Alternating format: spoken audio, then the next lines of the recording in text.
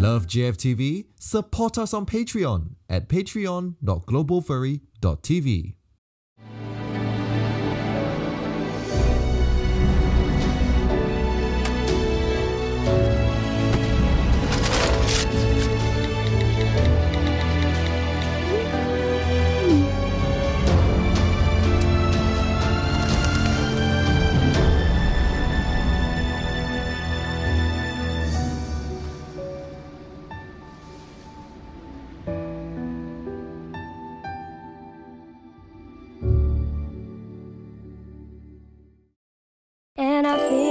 to myself, what a wonderful world.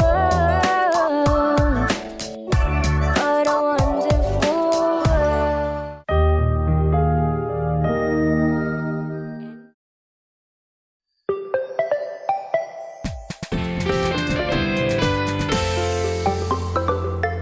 二零二四年十月二十一日，授权新闻尽在受事受闻点。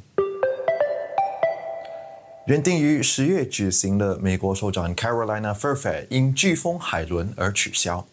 飓风对首展举办地北卡罗来纳州阿什维尔地区造成了重大破坏。首展主办方指出，需要优先考虑社区恢复工作和居民的安置。这是该首展自二零二零年成立以来遭遇的一系列干扰中的最新一起。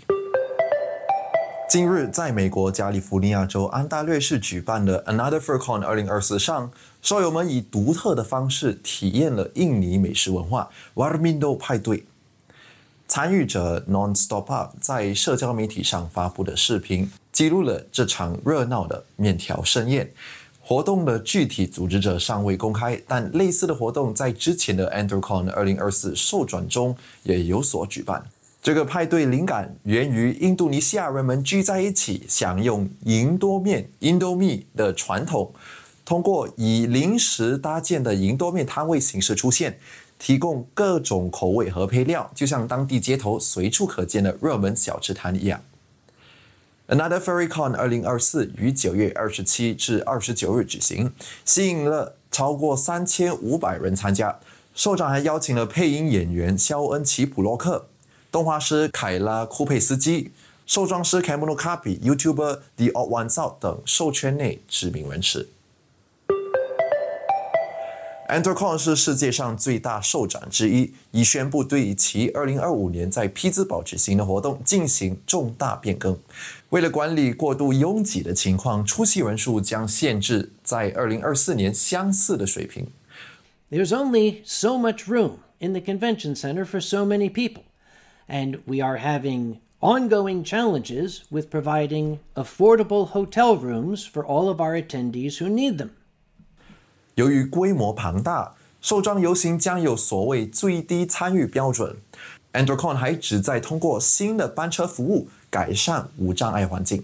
他们鼓励参与者们查看他们的网站以获取更新，并考虑志愿者服务或捐款以支持受展。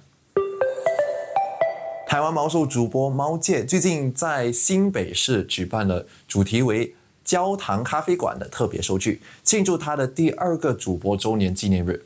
该活动于九月十四日举行，吸引了一百多名参与者，与他的一周年纪念聚会相比，有了显著增长。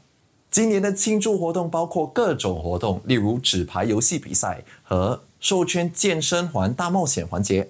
新增的活动是由专业 DJ 大声猫组织的 DJ 派对，场地本身也更大，为参与者们提供了更多互动和社交的空间。猫界看到参与者享受活动并创造持久回忆，表示非常高兴。他感谢粉丝们的支持以及他的团队为组织受剧所付出的努力。猫界对受剧的整体成功感到满意，但他指出活动的时长可能导致一些参与者们感到疲倦，这促使他考虑对未来的聚会进行调整。收视新闻点就到这里了，更多授权新闻请访问收视网 globalferry.tv。祝大家有个美好的一天。